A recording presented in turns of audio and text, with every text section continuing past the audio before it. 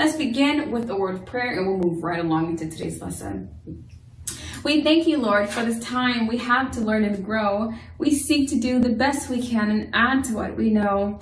We love you, God, with all our hearts, and to others love we show. Pleasing you is our goal, not to our lesson we should go. In Jesus' name, amen.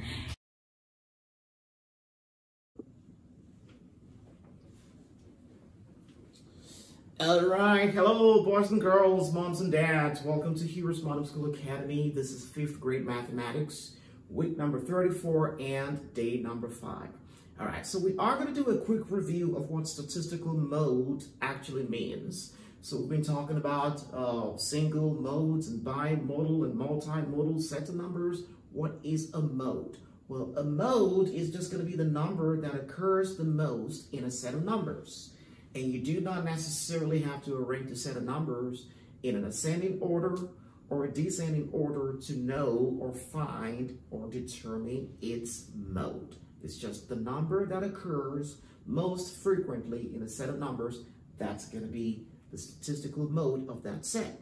Now, if that set has just one mode, it's going to be called a single mode. If it has two modes, in other words, there are two sets of numbers that occur with the exact same frequency, well, that's going to be bimodal.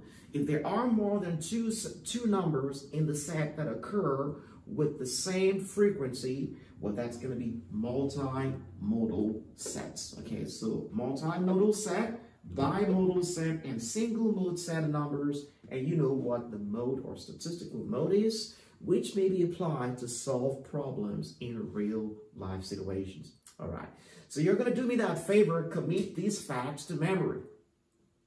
In other words, you know what statistical mode is. You know what a single mode is. You know what a bimodal set is. You know what a multimodal set is. By the grace of God, you are going to be a master of statistics. Hallelujah. All right. Did you get something from it?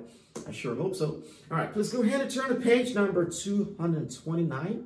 You are going to see additional things over there to retain this content a little bit better. I want to thank you, boys and girls, for joining me today. Remember, God cares about you, and so do we. Bye-bye.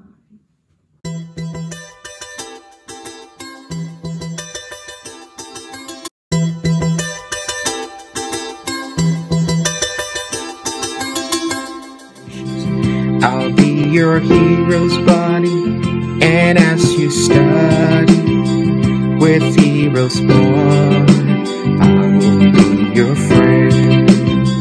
So don't you